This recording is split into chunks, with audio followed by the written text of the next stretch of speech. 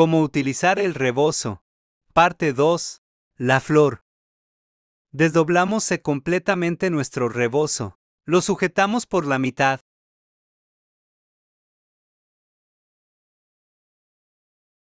Hacemos un medio nudo y apretamos.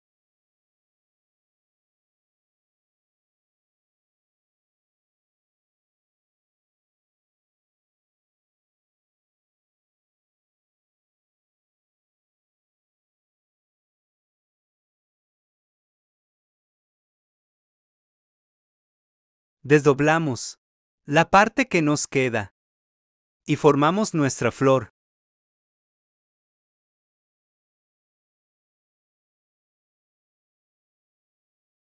Y queda lista nuestra flor para lucir con tus prendas. Rebozo greca.